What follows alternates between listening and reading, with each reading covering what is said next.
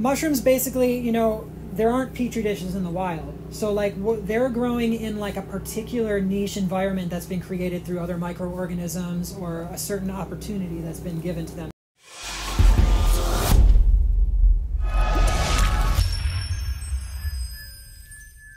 I personally uh, grow mostly Ganoderma, which are known as reishi mushrooms, and I also breed cordyceps, which are an entomopathogenic fungus. So entomopathogens are um, things that grow on insects, basically, which is also uh, very pertinent to growing plants, right? Because insects eat plants. Um, so uh, those are my interests for the most part, is on medicinal fungi. Uh, I started my company Terrestrial Fungi officially, I guess, this year, but I've been kind of cracking away at it for the last 10 years, um, working on a lot of this stuff. Um, I'll talk a little bit about what you see here on the table. Uh, these are all um, here different types of reishi mushrooms, uh, mostly Ganoderma multipileum, uh, which is native to um, Southeast Asia, like tropical Asia and uh, this is one of my favorite uh, strains of or species of Ganoderma to cultivate. This is a strain from Thailand of Ganoderma multipileum, and all the other ones are a strain from China. Um, this is also Ganoderma multipileum, and this is also Ganoderma multipileum. So. Um, mushrooms are incredibly uh, sensitive to their growing environment. So if we raise CO2, we end up with forms like this. Or if we don't exhaust CO2, we end up with forms like this. If we have more fresh air exchange, we end up with forms like this. Same, same culture, same strain of mushroom, but completely different growing environments. Um, so this is one of the, the funnest parts for me about working with these mushrooms in particular is getting to observe their growth forms. Um, essentially, if you could imagine this being the underground portion of the fungus and this being the above ground portion of the fungus, typically. Now you see the ends here are starting to fan out to produce their, their spores. Um, and that happens when a certain amount of oxygen uh, is reached in the, in the surrounding environment. So basically, since CO2 is heavier than air, the CO2 sinks and they normally have to climb their way out of that high CO2 situation. So if it's dark and there's a lot of CO2 around, they will stretch. Um, and so that's what I'm kind of manipulating in the growing environment in order to produce these uh, particular forms. Now, another really cool thing about Ganoderma and other facultative parasites. Um, so, a facultative parasite is, is an organism that's not necessarily like a full on parasite, but it can live inside of living trees or living organisms. Um, but a lot of people think that actually some of these facultative parasites are actually sort of like um, an immune system for the tree. So, they're able to fill in certain areas where maybe there was damage or a pathogen gets in, and they can kind of seal that area up. Obviously, there's a lot of exceptions to these rules, and there's a lot of gray area in between.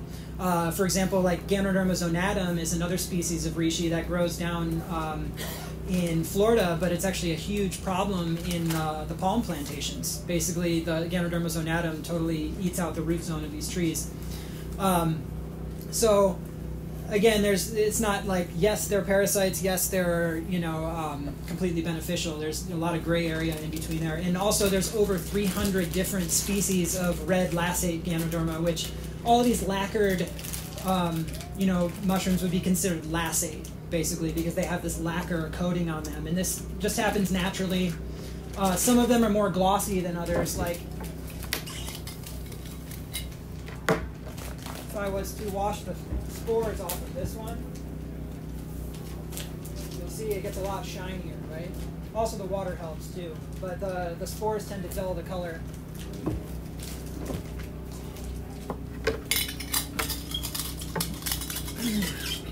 So in, I believe it was 2014, I was helping um, a professor at the University of Minnesota named Dr. Robert Blanchette um, collect samples from Ganoderma from around the United States. Uh, for a long time, people have been calling all red laccate Ganodermas Ganoderma lucidum. Um, and so fungal taxonomy in general is really opening up, like because of uh, the advent of DNA sequencing. So a lot of different mushrooms that 200 years ago when people were first observing them and they didn't have the tools that we have now they were saying well they, they look macroscopically similar so we're going to call them the same thing so like most of the mushrooms that grow in europe and most of the mushrooms that grow in the united states are actually different genetically you know because they separated at a certain point and they were able to delineate slightly from each other and so now that we're looking at the dna sequences we're seeing more of these subtle differences um, so I was participating in this study. Uh, the study was actually just released last year. Um, if anybody's interested in checking it out, it's called Elucidating Lucidum. Um, and it's about basically all of the different species of uh, red laccate Ganoderma that we have in the United States. So it kind of um, put to end this assumption that they're all the same thing. Uh, so Ganoderma lucidum, which is people have you know a long time been wrongly calling a lot of other reishi mushrooms lucidum because the, the type species was discovered in the UK um, about, I think, like 200 years ago or something. And so this is actually a European Ganoderma lucidum that you saw with the really strong red lacquer. Um, and so this is the actual Ganoderma lucidum. And for a long time, we didn't even have a lot of cultures of Ganoderma lucidum here in the States. Like, I had to really work hard to collect a lot of different strains from trades with people in Europe um, but we do have other members of the Lucidum clade here in the United States. So other um, genetically related but still slightly different mushrooms. One of them being Ganoderma tsugae, which grows on um, Tsuga canadensis, the uh, eastern hemlock tree here. And then on the west coast, uh, they have Ganoderma oregonense, which grows on uh, the western hemlock trees. So at some point, there was this big, like, glacial event that came down like the entire middle of the United States, and that's when eastern hemlock and western hemlock delineated, and it's probably when uh, Ganoderma tsugae and Ganoderma oregonense uh, delineated from each other. But what's really interesting about studying fungi is that we know very little about like the evolution of how, how they got here, how they got to different places, and they're, they're so cosmopolitan that even people can move them from place to place. And so we don't have a very good sense of like the history of these things, and that to me is really fascinating. You know, trying to, to pinpoint like the story of how all these things happened. Um, so my focus is mostly on cultivating all of these different strains and testing, and then releasing you know some of these genetics for commercial farms around the country to use. Um, and so I grow, I think, about 30 to 35 different species of Ganoderma and about 120 different strains. Um, and there's probably about five to ten of them that I like to grow better than the others. Um, definitely, this Ganoderma multipileum is super fun and rewarding to grow. It yields really well. It grows relatively fast. Um, also, Ganoderma sessile, which is in the Ganoderma resinaceum clade, and it's native to Michigan as well. Uh, I have some of it actually right here. This mushroom grows really commonly in lawns. If any of you have found reishi mushrooms in, in this area, like in Michigan anywhere, most likely this is what you found. Uh, they look very different though. This bag is holding CO2 inside, so that's why they're also stretching, like I mentioned earlier, to where they still think they're underground essentially, and they're they're stretching to try to find oxygen to produce their spores. Um, so this this mushroom tends to look really beat up when you find it in the wild. It can still be really pretty, but for the most part, a lot of the times, uh, the wild reishi in the southern part of the state is pretty useless. Like you'll find it and it's like full of grass, it's full of all kinds of dirt and other you know contaminants, and that's because it um, it grows really flat across the ground. And I'm not sure if this is like uh, an adapta- adaptation to lawnmowers. you know, like in the last 50 years or so, like as people are mowing down these mushrooms, if they're just slowly selecting out the phenotypes that don't, that aren't as sensitive to CO2. And uh, I've noticed across the board, like, because I probably have grown about 60 different strains of Ganoderma sessile alone, and uh, every strain is different as far as its CO2 tolerance, which is really cool to me. Um, there's so many different phenotypes of that particular species. Like some of them have like a really dark burgundy kind of lacquer. Some of them have like more of a cherry red kind of lacquer with like a yellow intermediary band. So this changes a lot from species to species of reishi. This one's kind of hard to tell right now. Um, but normally you'll have like red, yellow, and then a white outer growing margin. but all of those colors change from strain to strain and even from species to species. Like this European Ganoderma lucidum, it grows this really, really nice kind of cherry red with like a really mustard yellow band with then the white margin. But the um, some other strains might have more of like um, an orange intermediary band. So another thing I was I was mentioning about Ganoderma lucidum and how it doesn't really occur in the United States. There are two isolated pockets where it does, and we still don't understand why. One of them is in Utah, and the other um, is in California. So we do have confirmed uh, collections of Ganoderma lucidum from those two places, but nowhere else in the United States. Um, and I've had the pleasure of being able to grow some of those strains from Utah and California, and the same holds true for those. I mean, the the California has more of like a beige intermediary band instead of yellow or orange, whereas the Utah was orange. So to me, just being able to watch all of the different phenotypes is really, really fascinating. But then on top of that, with mushrooms, um, anything that they're exposed to in their environment, uh, they're having to develop um, new strategies towards uh, dealing with those things. So, um, mushrooms will de- will develop uh, completely new antibiotics in response to certain strains of bacteria. So, if you take a petri dish, you know, of um, of a particular mushroom species, and you introduce a particular strain of bacteria to that, they'll start basically battling it out. And if the mushroom is able to uh, overcome that bacteria, you'll start to see the mushroom produce these little droplets of liquid. And if you analyze those droplets of liquid, they contain completely new compounds um, that the mushroom has created in response to this environmental uh, contaminant, and which is absolutely amazing. And it also tells us that even the same species of mushroom, um, if they're exposed to different, or even the same strain, if they're exposed to different environments, they're going to produce different active compounds.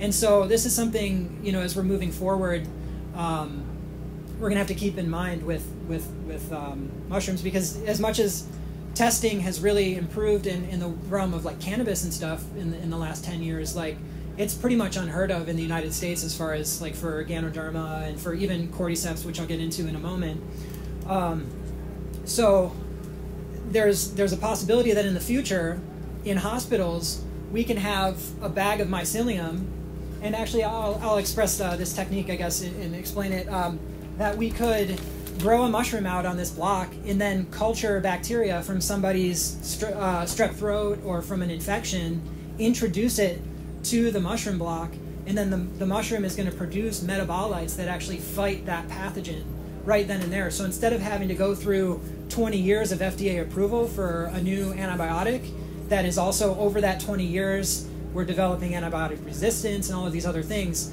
Here's a brand new antibiotic that can be used within a few days without having to go through that type of. Um, and so this is uh, what I'm speaking about now is uh, based on some of the work uh, by Tradd Cotter.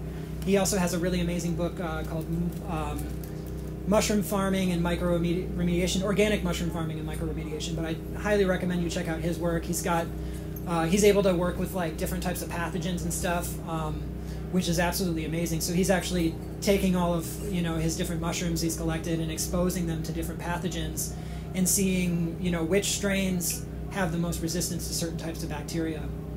Um, to me, that's absolutely fascinating. You know that this could be the future of medicine. You know? um, so uh, every every strain has a different response potentially to their environment and their substrate and everything, and then also every um, every species as well. Um, so if somebody wanted to collect metabolites that were being created in response to a particular uh, thing that you introduced, you could make a, a sawdust block like this, you know, and I'll get into that in a little bit, a little bit more. But if I made, when I made this block, if I had before it colonized, if I made a little valley in the top of the, the block, that would be a perfect place where I could place something there. Um, whether it's a soil sample that's been diluted with water or something, or something else. Um, once I place it in there, within a few days, this bag is going to produce a bunch of liquid and stuff. So if I extracted that liquid, that liquid would have antibiotic um, properties against whatever I introduced to the block. But also, this is a good way that if we wanted to try to inoculate maybe an outdoor bed or something like that, we could actually prime our mushroom mycelium for the environment that it was about to be in.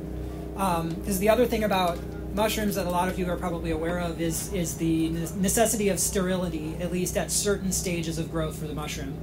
Um, sterility is not crucial at every stage of growth, but definitely in the stage where you're working with um, media that is very uh, nutrient dense. So, like things that have a lot of nitrogen and other things like that really require sterility in order for the mushroom to take hold and not be beat out by bacteria and other types of fungi.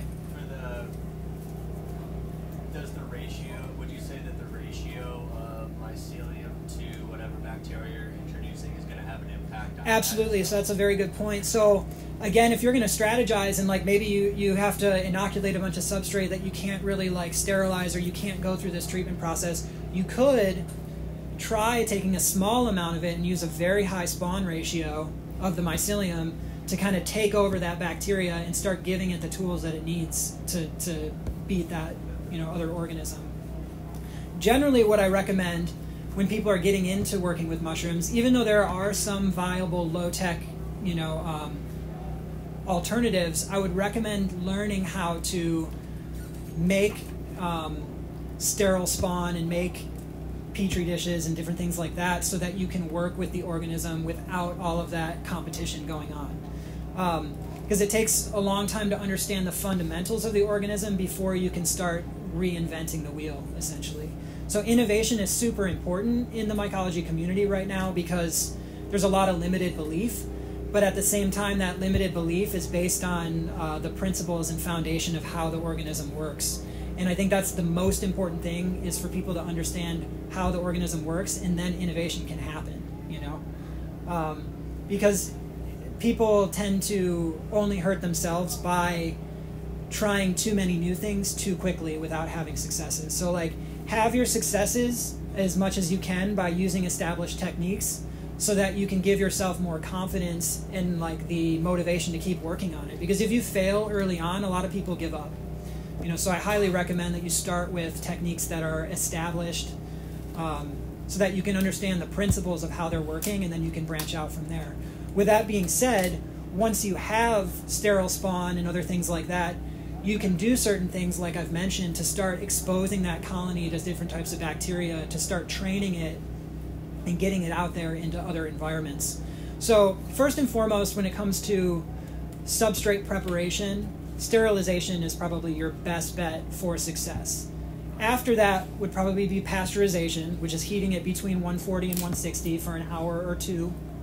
Um, and then after that, there's some other techniques like cold water fermentation that work really well, um, where you could take like wood chips or something like that and soak them in water for about a week, completely submerged in the water. And what happens with this type of anaerobic fermentation is you're killing off the aerobic organisms and then once you pour that water off, you can inoculate it with mushrooms, and the mushrooms are going to take over like crazy because the normal aerobic organisms that they have to fight and compete with are gone. And so the one drawback to that method is you need a lot of space to do it because it stinks really bad. You know, it's it's anaerobic decay and so it smells like dead animal or something depending on what material you use if you use something with a higher nitrogen source of course it's going to end up smelling pretty awful you know. Um, beyond that, there's also log cultivation and also using log rounds. Slice. You can um, either use dowels to inoculate holes that are drilled into logs, or you can actually slice the logs into totems and stack spawn in between those. Um, before I go too much further in cultivation and stuff, I want to pass these around. These are what I recommend for people just trying to get into culturing fungi and even cloning mushrooms. Um, these are no pour petri dishes. Um, the uh, there's a Ganoderma sessile sample growing on these that you can see. There's a little extra excess liquid inside of the the no pour plates uh, because of condensation and stuff. There's ways to avoid that, but uh, essentially what what this avoids is having to pour the dishes in front of like a laminar flow hood or something like that. Uh, another thing that you could do with these no pour plates is you could put like a uh, injection port on it, like a, a silicone injection port or something, for if you maybe once you got the mushroom growing in there, you didn't want to have to open it somewhere because you're worried about contamination getting in there. You could um, inject it with liquid and um, basically agitate it and then aspirate the liquid out and use that as your inoculant. Um, what I would recommend, let me grab a little.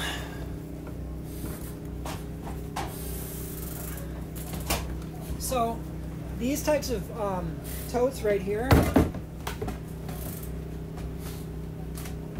Let's say you don't want to get a laminar flow hood, which is what I work on because it's the easiest and um, there's the most real estate to work under. But one thing that you can do to build a still air box without even having to make any holes in this tote, I can set this up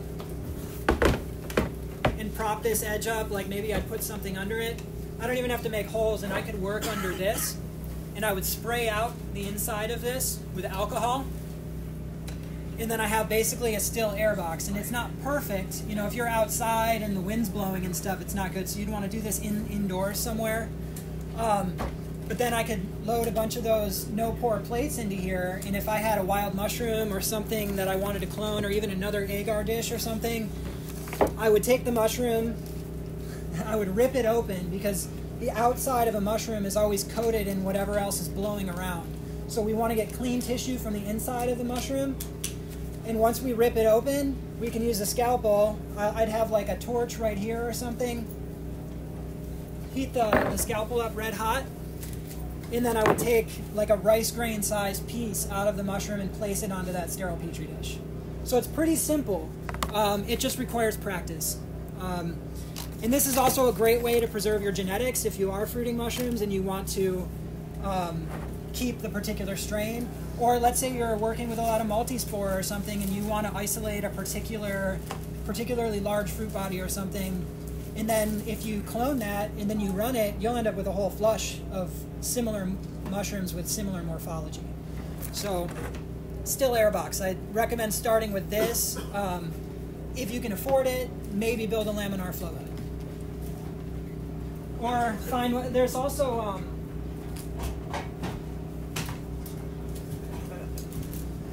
there are also some um, alternative uh, units you can find on eBay as far as laminar flow. Uh, they, there's these ceiling filter units that they make uh, for hospitals and stuff, and a lot of the times you can find them. Um, I'm just trying to think of a good keyword for you guys to search. Uh, I would look 24 by 24, like filter unit or something like that. And a lot of times you can find them pretty cheap on eBay. Sometimes they get banged up in the mail and stuff, but they still work really well.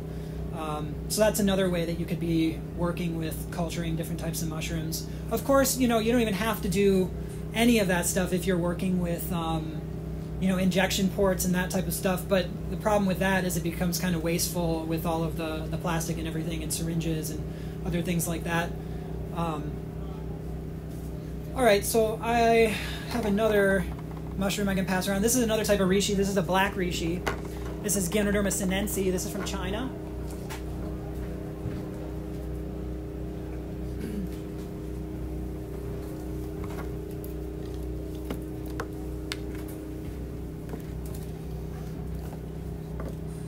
These um, this particular strain, we had to work really hard to get this here.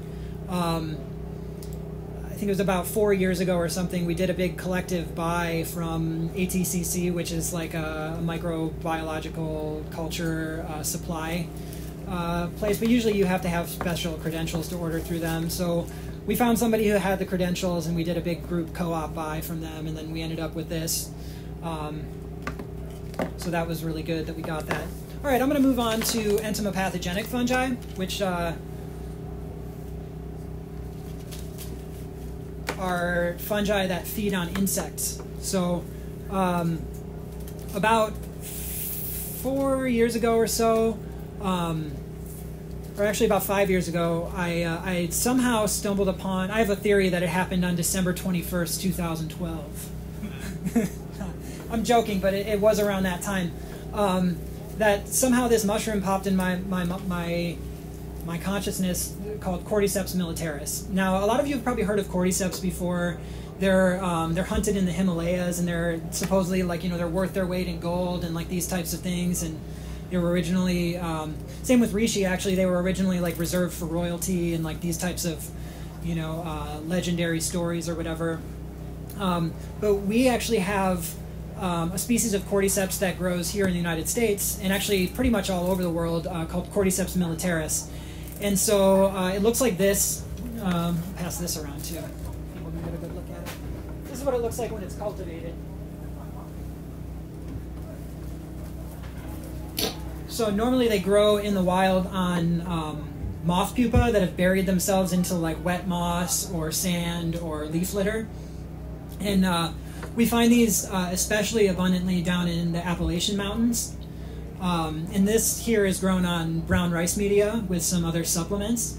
Um, this is a strain that I bred, and uh, when we first got into growing these here in the United States, the hardest part was finding genetics to grow. Um, even though they grow here, we didn't really know that yet. we weren't really finding them in the in the abundance. So, like I was watching all of the forums and stuff on the internet like a hawk. Like anytime somebody was like, "I found this. What is it?" You know, like I'd be like, "Oh, that's this." Like, and and so I was trying to basically find somebody that could either send me a sample to culture or somebody that was trying to culture a find that they found. And so I finally ended up reaching out to a few people. A couple people were like, "Oh, I don't know, it's going to be worth a lot if I do it," you know, or like if I if I'm successful culturing it, it should be really valuable. And I was like, "Okay," and I was willing to pay it, but it was just kind of like the attitude they had was sort of interesting, you know, and exploitive. And then I stumbled upon somebody who was really gracious about it, and they they shared their culture with me. And after trying many other cultures before then, that culture started pinning on on the agar media, and I knew right away that I was going to be able to have success. So I jumped right into using um, a media that I got from somebody that I was conversing with in Thailand because in Thailand, Vietnam, China, even in India, like they they're a lot further along with cultivating these mushrooms than we are. Um, and so I was finally able to get them to fruit. I think it was in the end of 2014 or something. And so I was probably the first person in the United States to fruit that mushroom artificially, even though there were other people doing it in other places. Thank you. Um, and so I had some initial successes. I was I was going through the motions like I normally would do, trying to cultivate mushrooms, and then my culture stopped fruiting.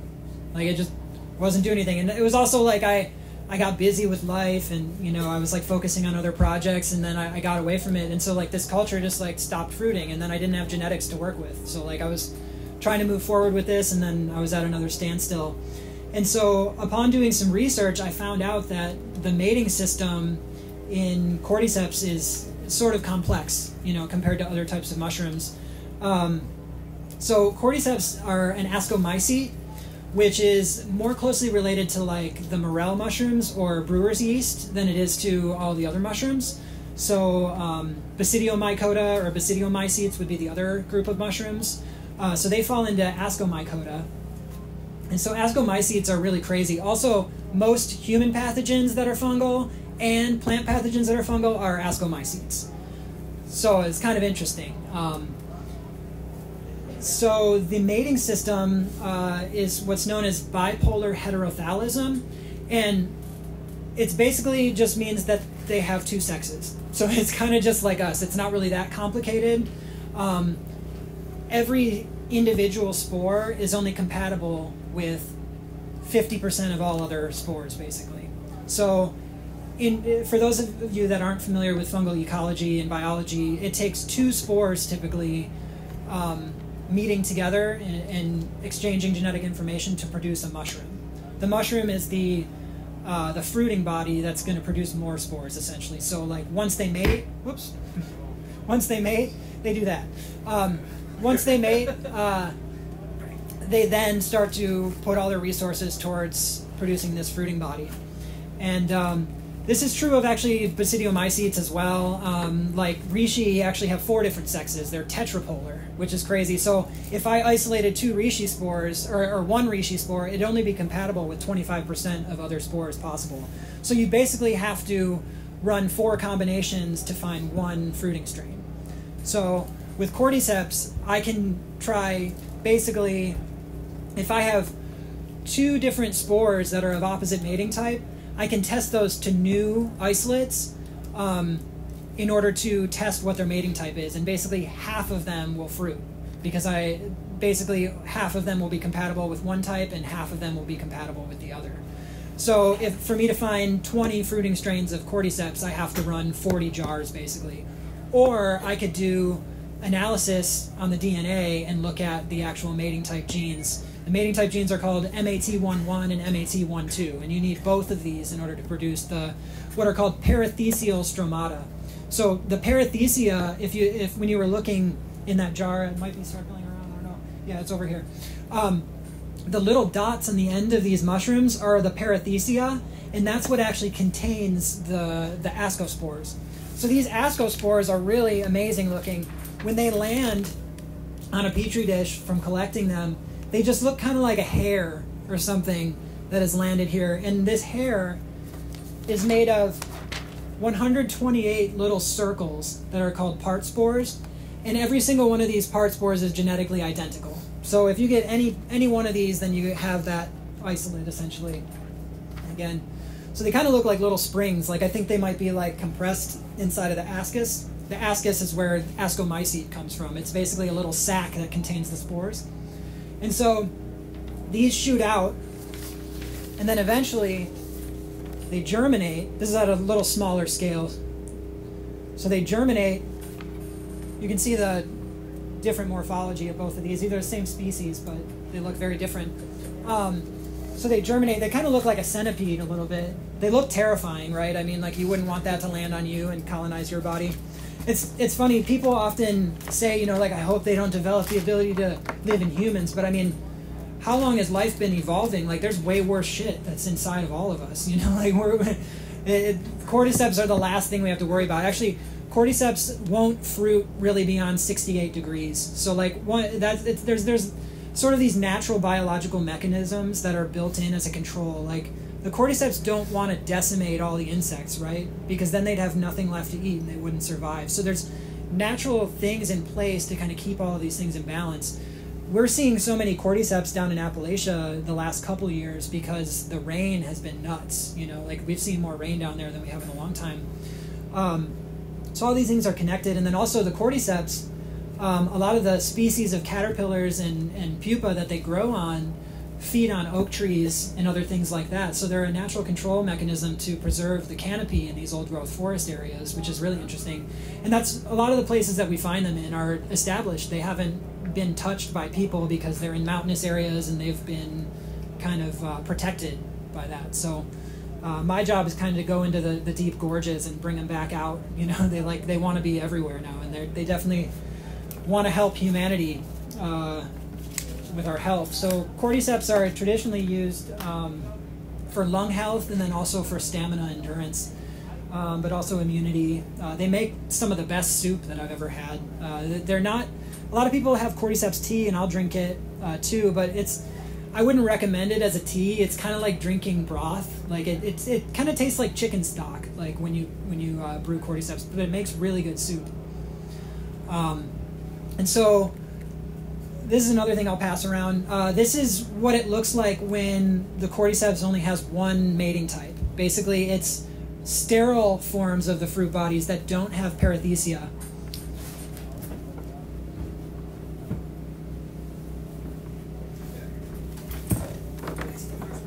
Yeah.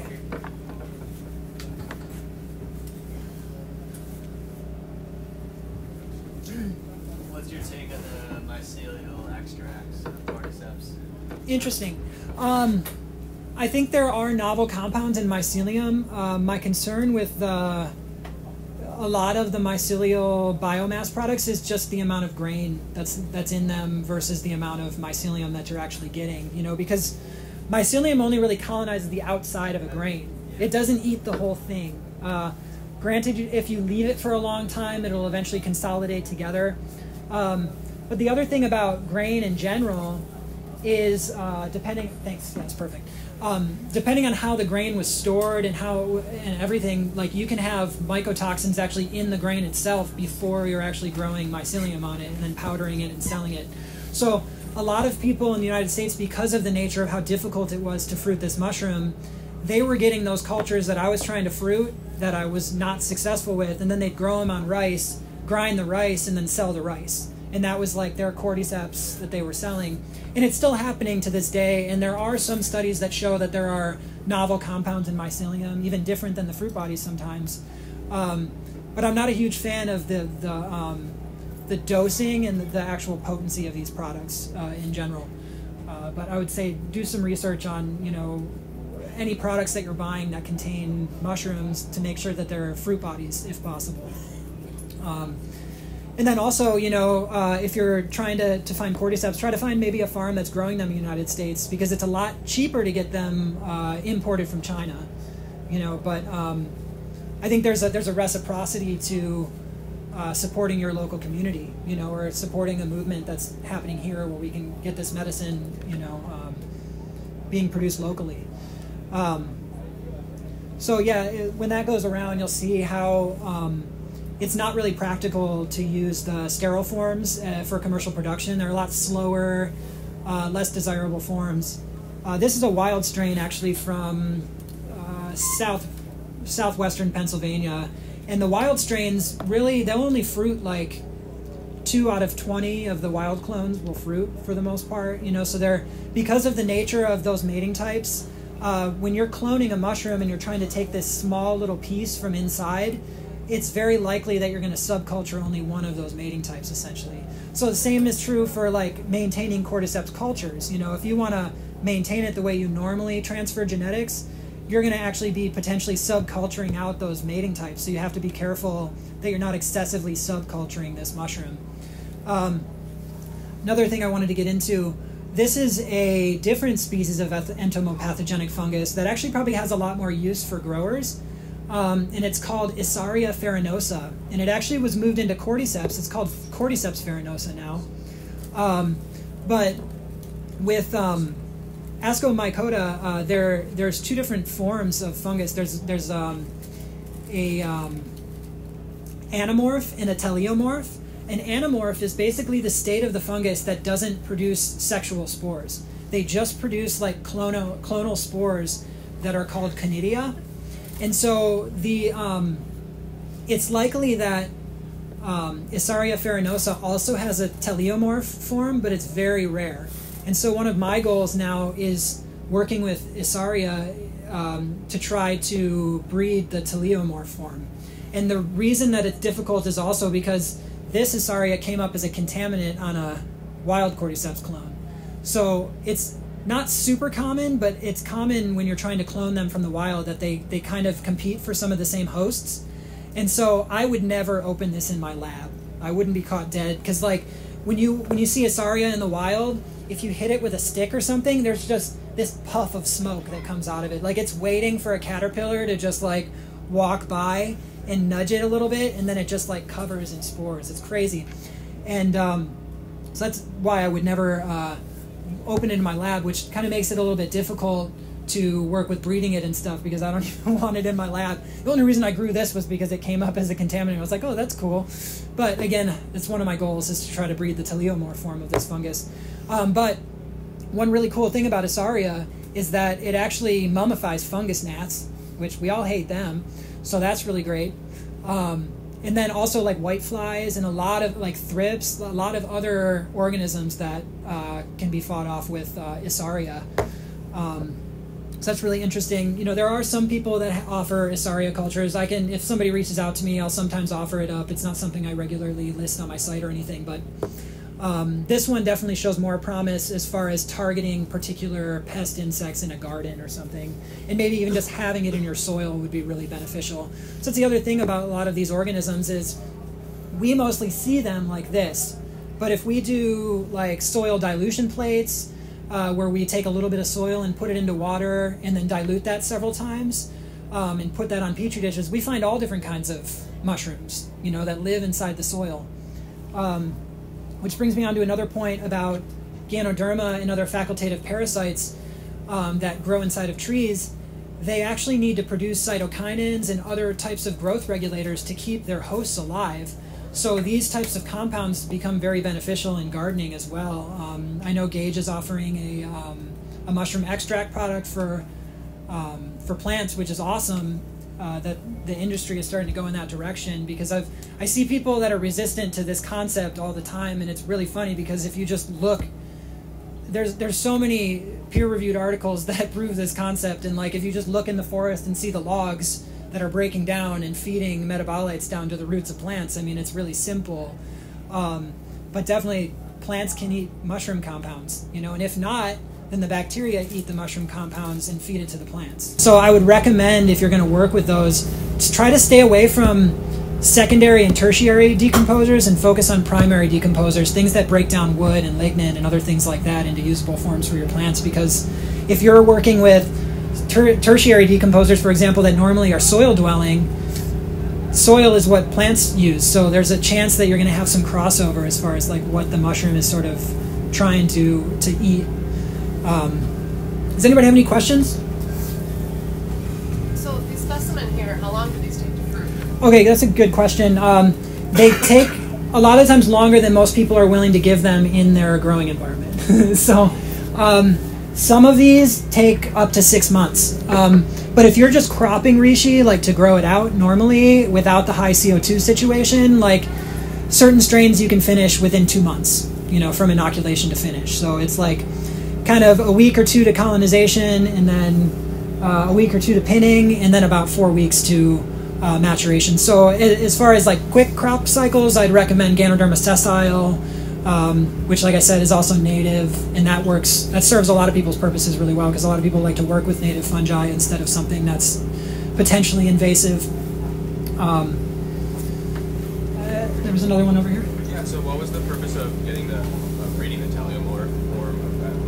Uh, just just for learning, yeah, just for research for the most part, um, because we don't really see it in the wild, you know. So I know that it's possible, and I just kind of want to.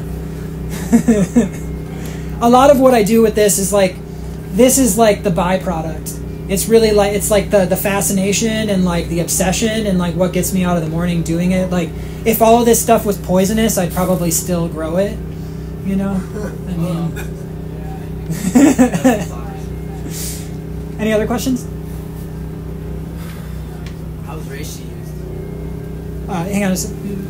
I was just wondering if you recommended any resources uh, for uh, learning more about the companion planting, like what types of species or what types of results people are getting with. Yeah, I mean, it's really just going to take people like people that are here just trying it because there's not been a lot of work done on that. I mean, there are some. If you go on Google Scholar and look into you know that, there are you know some studies that have been done on that. Like brassicas do well with with an elm oyster.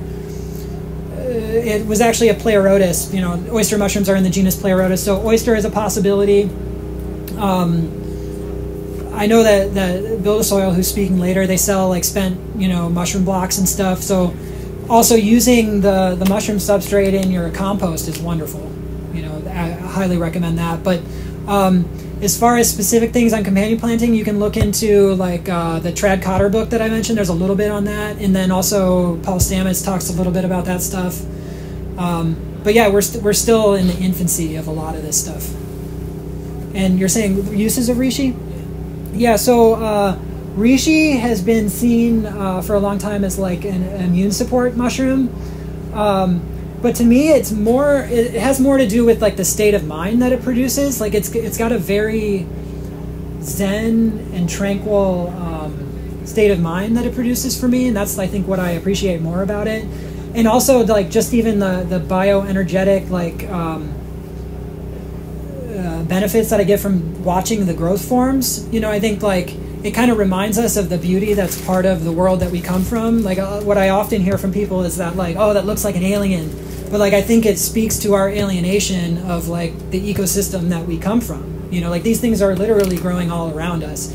Stuff that looks pretty much just as cool as like out in the woods. You know, looking waiting for us. You know, and so what's what's cool about what, look, this one is you can imagine like this is like what's happening inside of the tree and we're getting kind of a window into like what that looks like or maybe under the ground like it's it's colonizing the root zone or something and then it has to fight through the soil to eventually come up and produce this sporocarp you know um, another thing you know like this looks a lot like the co2 bags that that people sell you know um, honestly i think you could get a similar benefit from like filling a bag with any sort of organic matter and letting mold grow on it like you're going to produce CO2 that way. Fungi produce CO2. Um, I'm not talking down on those products. Like I think they're great, but I also know um, mushrooms work really well, but also all fungi produce CO2. Um, the other thing about certain form, types of mushrooms you might not want to have in your indoor grow room if they're going to sneak out of the filter patch like this and produce spores. You know, because the last thing you want to smoke is spores, right? You want the benefits of the my- mycelium of the mushroom, but not necessarily like dust on all your flowers. So it's another thing to consider when um, incorporating, you know, fungi into this into a grow or something. You're not necessarily like gonna incorporate it in order to produce like fruiting bodies because the environment that you need to produce fruiting bodies is like 80 to 90 percent humidity. Like it will ruin your your flowers like immediately, you know. So um, it's more about um, creating a similar type of environment as what we're finding in the forest, but not necessarily like fruiting mushrooms in the same area that we're growing plants. How long will a, a species of mushroom live without fruiting? That's a good question. So these, I mean, the inside of these jars, I've had them like last inside of these jars like for over two years, um, and like even dry out, and sometimes I can kind of bring them back. So it depends on the ecology of the mushroom. So like mushrooms that live inside of trees, generally, they can last almost forever. But mushrooms that are like tertiary decomposers, like I was saying, soil dwelling fungi, dung dwelling fungi, those types of things, they tend to have to come back from spore more regularly. So, like again, cordyceps, they senesce within six to 12 months. Once I breed those two spores together, I've got that clock has started. So I keep all of them separate. You know, I keep my spores, my spore isolates separate, so that when I mix them, I can send them out to my clients or whatever, and they can have the longest amount of time with that except for if I just like shared the isolates with them, which I haven't gone open source on that quite yet. Um, Back to the question. Now, is there a way to collect those spores, uh, maybe outside the grow room, and then reapply it when needed? Like as far as this, yeah, absolutely. There are a lot of different techniques for collecting those spores. Like you can use uh, water agar. So basically, what I normally use inside of these no pour petri dishes, I use like a basic malt extract agar formula, but I do it a little bit like thicker than normal. So I use like 35 grams of agar per liter and about 15 to 20 grams of malt extract. But if I was going to collect spores, I would just use water, water and agar, basically. So I make basically a non nutritive media that I could either um, attach the this to the lid, or I could actually flip this upside down and put a petri dish underneath it. It just depends on how many spores I'm trying to gather. The longer I leave it, the more spores I'm going to get. Um, the shorter I leave it, the less that I'll get. And if I'm trying to isolate, I obviously want to do it for less time. Uh, sometimes more distance too. You know, maybe I'll put this inside of a container and have it spread out away from where I'm trying to collect the spores to give it a little bit of distance. You know. What about growing, uh, companion growing mushrooms outdoors and would they, uh, would the spores uh, live throughout winter and grow next year as well? And That's going to depend on the, the species that you choose. Something like pink oyster mushrooms wouldn't survive here, but Ganoderma a lot of the times will. But also, like if we look at mushrooms in their ecology and how, I gotta be conscious of time. Um, mushrooms basically, you know, there aren't petri dishes in the wild. So like they're growing in like a particular niche environment that's been created through other microorganisms or a certain opportunity that's been given to them. So the same is true for in your garden. If if they run out of their food source, then they won't come back the next year. You know, so like if you've got wood chip beds that are established of something and it's fruiting doing well, if you keep adding wood chips, they're going to keep coming back. Now, if you bury a log or something, um, most likely you'll get a year out of every inch of that log. You know, but um, yeah, it really depends on the species. But for the most part, um, you can guarantee if it's like a something that grows in trees and there's a, enough of a food source, yeah, they'll come back. It's like the, the fascination and like the obsession and like what gets me out of the morning doing it. Like if all of this stuff was poisonous, I'd probably still grow it.